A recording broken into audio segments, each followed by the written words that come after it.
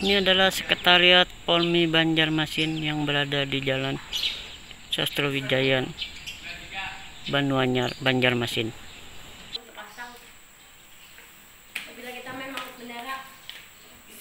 Muskot dan musraker untuk Polmi Banjarmasin.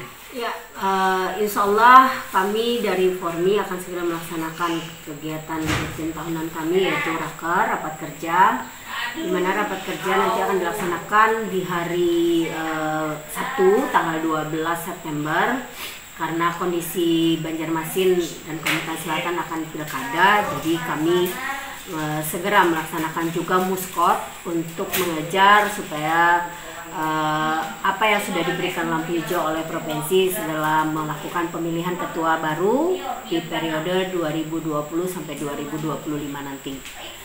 Rencananya adalah di hari yang sama tapi beda jam karena di tempat yang sama juga kami akan melaksanakan muskot pemilihan ketua Kormi nantinya bukan Formi lagi Insya Allah 2021 Formi sudah menjadi Kormi. Kormi. Jadi rencana ini akan dilaksanakan secepatnya karena ada beberapa yang nanti akan kami sampaikan juga kepada calon-calon ketua yang akan mencalon.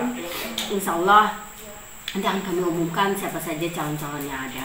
Eh, yang jelas mutlak nanti adalah pemilih ditentukan oleh cabur-cabur.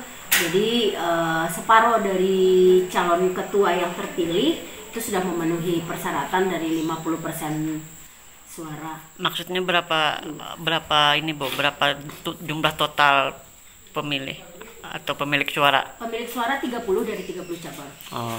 Bu katanya sekretaris Polmi Pian ya dikehendaki maju juga Bu. Gimana responnya Bu?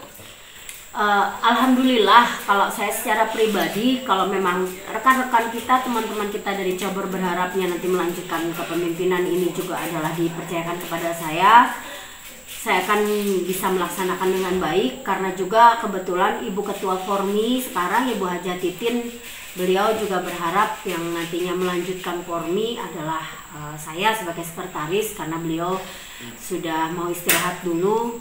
Sementara calon figur yang lain eh, kami serahkan kepada cabur-cabur siapa yang ingin maju kami persilahkan. Namun untuk sementara waktu ini dari beberapa cabur yang mengusung saya untuk maju ke pemilihan berikutnya saya saya terima dengan baik saya terima karena memang harapan teman-teman ke depannya agar Formi bisa lebih baik lagi di periode akan datang.